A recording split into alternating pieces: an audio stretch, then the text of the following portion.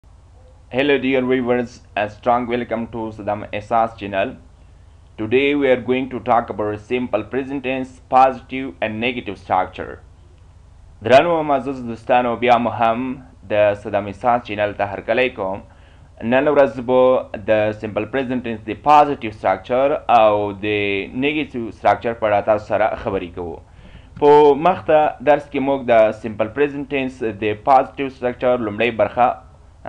وویله او په دې اړه معلومات خرڅیر کړل چې څنګه استعمالول شو نو نن به په دویمه برخه باندې تاسو سره خبرې کوو چې سبجیکټ ور پلس کمپلیمنټ ته دغه سټرکچر د چا لپاره استعمالیږي د آی وی یو د او پلورل ناون لپاره استعمالیږي لکه مثال په توګه آی برینګ ا چیر ایوری ډی زه هر ورځ یوه چوکۍ وړم We bring a chair every day موږ هره ورځ یوه چوکي راوړو او دا قسم یو چې دی د مفرد لپاره استعمالیږي د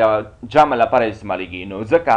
دریم او څلورم مثال کې داسې راغلي دي You bring a chair every day ته هره ورځ یوه چوکي راوړې You bring a chair every day تاسو هره ورځ یوه چوکي راوړئ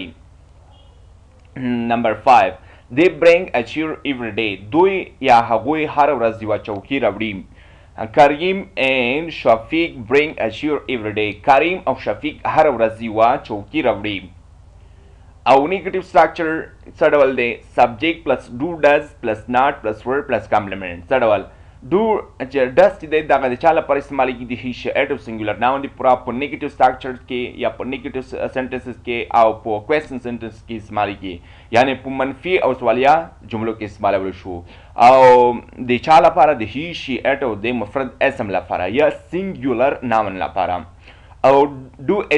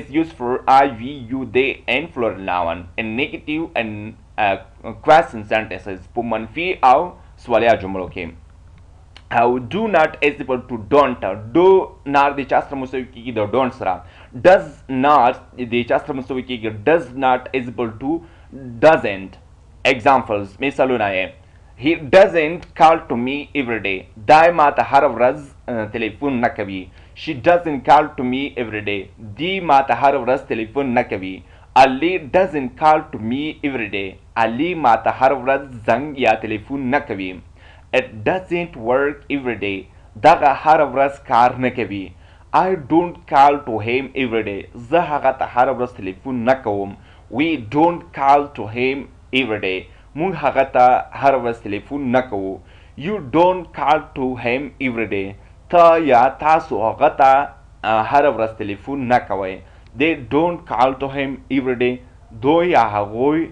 هغه ته هر ورځ تليفون نه کوي Jamil and Hanif don't call to him every day جاميل او حنيف هغه ته هر ورځ تليفون نه کوي نو دغه وه زموږ د نن ورځ لپاره پروګرام دا چې د سمپل پریزنټ ټینس وروستی پروګرام به انشاءالله